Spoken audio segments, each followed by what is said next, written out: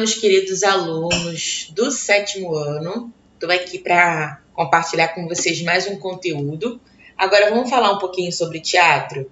Eu sei que a gente já está bem bem atualizado, né, diante das aulas que a gente teve no Zoom, mas eu estou aqui também para poder trazer esse vídeo aí para quem não entendeu, para quem não conseguiu assistir as aulas no Zoom e também para reforçar a compreensão de vocês. Então vamos lá, gente. Teatro e o mundo. Primeiro, a gente tem que entender o conceito de teatro. O que, que significa a palavra teatro? Ela pode ter dois significados. Ela pode ser a arte de interpretar personagens reais, né, que realmente aconteceram, é, personagens da nossa história, ou fictícios, né, um personagem criado por uma história. É, pode apresentar diversas situações, então ela pode teatro pode estar envolvido com a comédia, é, também pode estar envolvido com drama, com terror, com diversas situações, né, que vai inclusive dar gênero, né, ao nome teatro. É, e pode ser escrita por um dramaturgo, né?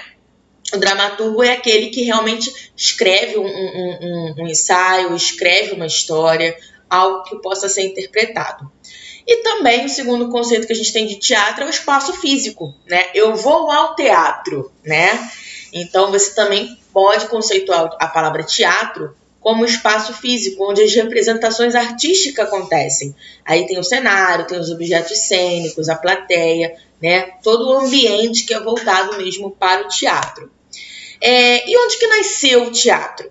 Nasceu na Grécia, na Grécia Antiga, em festivais ao deus Dionísio, né, um deus da mitologia grega. E geralmente nesse período né, utilizavam-se muitas máscaras. Eu até coloquei aqui alguns exemplos de máscaras, né? Que eram inclusive como elementos do ritual, ritual ao deus grego, ritual ao deus Dionísio. E a partir desses rituais é que foi se, foi se tornando teatro, né? Começou a principal a, a, princípio nos festivais de rituais ao deus grego, deus Dionísio, e a partir disso foi, foi se vendo né, que era possível criar, fazer encenações então, o teatro nasceu a partir desses festivais, né? Eu não vou ler aqui, você já tem o conteúdo disponível no Google Classroom para vocês lerem, que se eu for ler tudo, o vídeo vai ficar enorme. O que é importante a gente entender nesse momento do teatro grego, né? A, o uso das máscaras, eles também ajudavam, né, a aumentar a expressão, porque ah, diferente de hoje, que a gente tem o teatro muito comum no teatro fechado, num lugar fechado, nesse período da Grécia Antiga, os teatros eles eram feitos a céu aberto. Então era muito mais difícil é, os espectadores observarem as expressões dos atores. Então as máscaras, que eram até o dobro do rosto do ator, né, era bem maior, auxiliava aí a eles em compreenderem o que estava sendo expressado. Então, por isso que também tinha muito da questão das máscaras também no teatro grego, além também de ser comum por conta dos rituais. Né? Mulheres não participavam porque elas não eram consideradas como cidadãs da polis, então os homens eles interpretavam personagens femininos e masculinos. Né? Vamos lá. É, e o termo teatro? O que, que significa? Da onde que vem esse nome? Significa é, que, se, que pode é, ser interpretado como local onde se vê ou loca local para onde olhar. Então, por exemplo, eu até coloquei aqui né, é, uma, uma imagem, né, um desenho de como que era mais ou menos o teatro grego. Né? Era em formato semicircular, semi-arena, né, em formato de meia-lua, e todo o público tinha sua atenção voltada para o palco, onde os atores interpretavam. Né? Aqui geralmente era onde ficavam os figurinos, é, ficavam ali a parte de preparo dos, dos atores, né? Até eles virem para o palco. Hoje a gente tem camarim, né? Era, digamos que seria mais ou menos isso, tá? É, tinha muita dança, muita mímica, e era muito comum também para os gregos, né? Eles participarem, é, assistirem peças de teatro é, na Grécia Antiga, era muito comum da sociedade. E quais são os elementos do teatro? Eu não vou ler todos, né? Até porque o nome é, você já conhece, já são nomes conhecidos para vocês. Eu coloquei alguns conceitos que vocês podem ler no material, tá? Ele pode ser. O que, que pode ter como elemento do teatro? A plateia, né? onde é o espaço onde o público assiste, o palco, que é onde os atores encenam, né?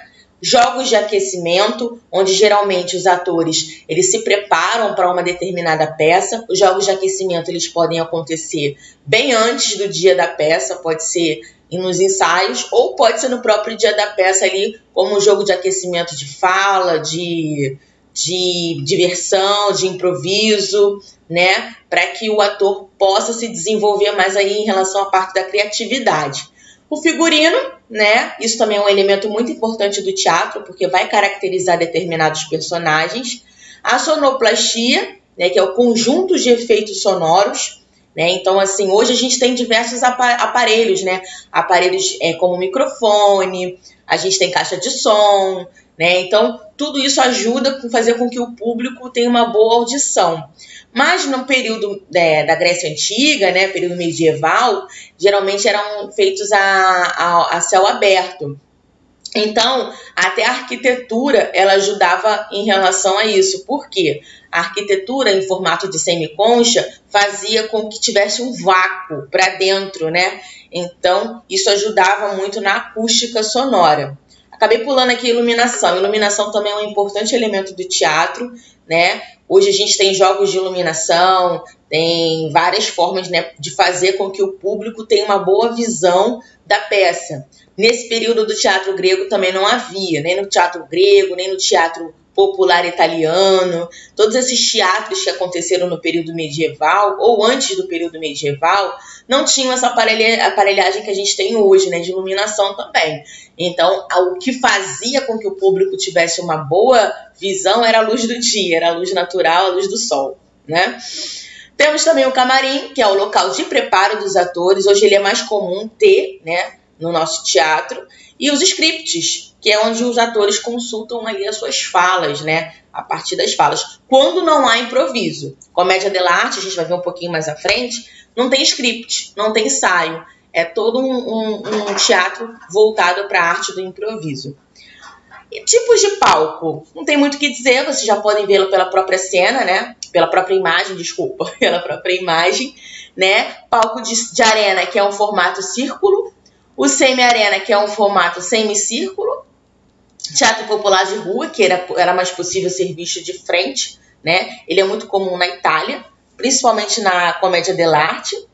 O palco italiano, que é o que a gente está comum né, a ver hoje, a gente quando vai ao teatro, geralmente ele tem esse aspecto. E o palco elisabetano, que surgiu na, no período de reinado da Rainha Elizabeth na Inglaterra. Né? A gente também vai falar um pouquinho dela mais à frente. É... E comédia della arte? O que, que, a gente pode dizer dessa arte que surgiu também é, na Itália no século XVI, no período do Renascimento? Como a gente viu, né, é, nos conteúdos anteriores, o Renascimento foi o quê? Foi um momento em que o homem renasceu, renasceu para diversas é, novas modalidades artísticas, pintura, escultura, arte, né? Então, é, o teocentrismo ele dá lugar ao antropocentrismo, né? Onde o homem ganha mais espaço na sociedade, onde o homem ele é considerado como um ser pensante, né? Então, novas modalidades artísticas também vão surgir nesse período. E comédia della arte é uma delas, né? Então, ela vai fazer todo um panorama voltado para questões sociais, né, situações do povo, situação em que o povo vivia. Então as encenações geralmente eram ligadas a, aos tipos de vivência do povo, o que, que o povo vivia no seu dia a dia, né? Principalmente o povo considerado como abastado, o povo mais pobre, né, o mais é, desprezado, digamos assim, pela sociedade burguesa, né? E aí o comédia della arte, como ele é uma arte que vai surgir como arte de rua, arte popular, ela acaba sendo disponível para todos, né? Os que não podiam é, naquele período pagar, né, para assistir uma, uma uma peça de teatro, né, num espaço mais restrito, acabava podendo também assistir o Comédia della Arte por ser uma arte de rua, uma arte exposta ao público, né? Comédia della Arte ele tem total ligação com o carnaval, um pouco diferente do nosso carnaval brasileiro, né, que está mais ligado ao samba, mas é um carnaval onde havia muitos festivais. Inclusive, até hoje a gente tem personagens né, do Comédia dell'arte é, que são muito ligados ao carnaval. A gente tem aqui o Arlequim, né? A, o Pierrot e a. Deixa eu conferir aqui o nome dela, que me, me deu um branco aqui. Vamos lá, o Arlequim e a Colombina, né? Arlequim, Colombina e Pierrot, que vivem aí num, num triângulo amoroso, né? Onde os dois querem ficar com a Colombina. E aí acaba se tornando uma situação de comédia, né? Uma situação cômica, engraçada. E isso atrai também o povo nesse período. Né? Até porque o povo trabalhava muito, né? vivia sempre, eh, digamos, escravizados pelo capitalismo da época. Né? Então, assim, festivais que aconteciam em rua era um momento total de descontração, principalmente quando eles viviam, viam, né, assistiam a realidades deles, né, ali na peça. Eles se viam nos atores, digamos assim. Então vai ter um muito apreço do público, né, pelo comédia della arte, né, que se tornou muito popular na época.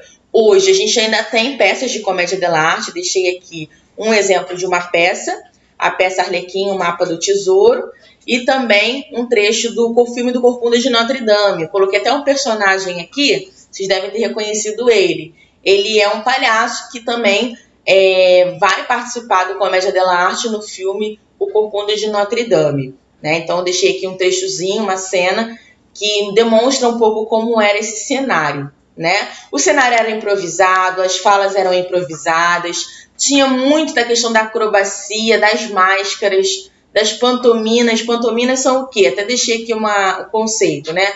Representação de uma história exclusivamente através de gestos, expressões faciais e movimentos. Ou seja, na pantomina não havia falas. Então, no Comédia dell'arte, a gente vai ter peças com falas e peças também com pantominas, né? Somente através de gestos. Tinha muito uso de piada, formas de mal entendido, trocadilhos, ilusionismo, interação muito grande com o público, né? Então eles vão ali envolver o público de uma forma que se torne participativo do teatro, né, da peça, e ele é caracterizado principalmente pelo improviso, tá bom?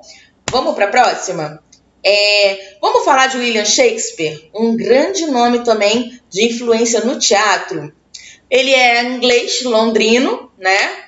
É, faleceu cedo, faleceu, se não me engano, em 56 anos. Poeta, dramaturgo e ator. Como eu falei para vocês, dramaturgo é aquele que escreve, né? Aquele que vai é, compor ali uma história para ser dirigida numa peça. E, além disso, também ele era ator. Além de ser poeta, ele também é, encenava também desenvolveu diversos textos que serviam como base para a interpretação no teatro. Então ele escrevia, né, para que esse texto ele pudesse ser encenado numa peça. É, até hoje, né, as, as peças deles, é, os escritos, né, as histórias, os textos, têm uma grande influência no teatro. Houve, né, vários dos textos dele, né, é, sendo reescritos, ou seja, adaptados para as situações de hoje, situação contemporânea, na época também do modernismo. Então, as peças de William Shakespeare até hoje têm uma grande influência né, como base, tendo aí diversas adaptações para os nossos dias de hoje. Né? Teve seu auge como dramaturgo no reinado da Rainha Elizabeth, Rainha Elizabeth também rainha da Inglaterra. Ela apreciava a arte, apreciava não só o teatro, mas também outros tipos de modalidades artísticas, né? E ela vai investir muito nisso. É, inclusive, ela vai investir no teatro elisabetano, que é esse aqui que eu mostrei para vocês, ó. Ela vai surgir, né?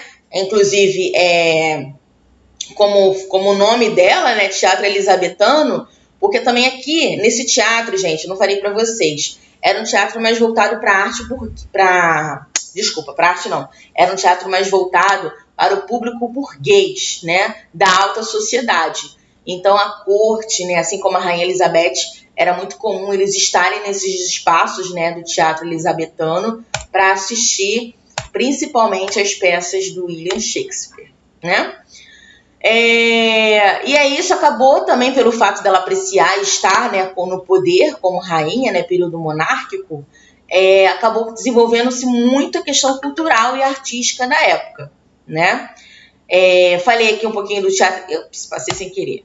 Falei um pouquinho aqui do teatro elisabetano, né, para vocês. principais obras de, Romeu, de, de William Shakespeare. A gente tem Romeu e Julieta, Rei Macbeth, O Mercado, Mercador de Veneza, Sonho de uma Noite de Verão também é muito comum Sonho de uma Noite de Verão estar nos dias de hoje. A Megera Domada, O Otelo, O Moro de Veneza são as principais obras, mas ele escreveu mais de 36 obras para o teatro, né? Essas são as mais comuns, tá bom? Vamos lá, teatro no Brasil. Como é que foi esse desenrolado de teatro aqui no Brasil? Como que foi essa influência? Chegou aqui através de jesuítas no período colonial, né? Então, qual era o objetivo dos jesuítas? Não era catequizar os índios? Então, vamos utilizar da forma também do teatro para ensinar ali situações, né? É, principalmente de religião, né? De, de, de crença, né? Do divino para os indígenas é, se convencerem dessa nova crença, né? Então, o objetivo era catequizar. Ops, passei sem querer de novo. Era catequizar os indígenas para essa nova crença, né? É, católica, né? Ligada a Deus. É, um dos principais autores desse, desse período é o padre José de Anchieta, né? Então ele vai ter uma forte influência nesse período com suas histórias, com seus contos. As peças abordavam sempre temas religiosos que mexiam com o sagrado, né? E existem muitos personagens como santos, demônios, imperadores, né? Pra, que, são, que eram comuns desse período, né? Imperadores, né? Tem, por exemplo, teve o imperador Dom Pedro I, Dom Pedro II, aqui no Brasil. Então, nesse período, é, era muito comum é, também ter os imperadores. Além também de personagens, né, que não são reais, como santos e demônios, né, que a gente não vê por aí, mas que também eram encenados, tá? Representavam o amor e o temor a Deus. É, a gente também tem como exemplo, gente, desse período, o Alto da Compadecida, que surgiu também aí como forma também de mostrar a questão do, da religião, né, do, da necessidade do homem ter uma salvação após a morte. Então, que o Alto da Compadecida, que foi uma peça e que inclusive se tornou cena do filme, até botei aqui uma foto da cena do filme O Alto da Compadecida, começou no teatro, né, e depois também passou a ser um filme.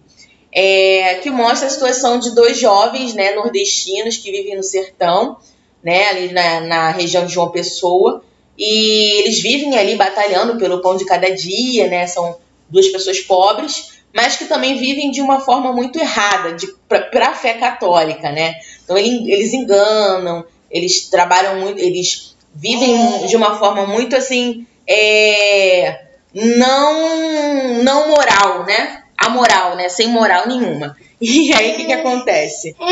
Ah, no final da história, né, eles tentam alcançar a salvação com a aparição de Nossa Senhora Aparecida, que é também um, um grande ícone de divindade, né? Aqui tem o teatro jesuítico para vocês terem uma ideia de como que era na época e uma Índia aqui assistindo. Vamos lá.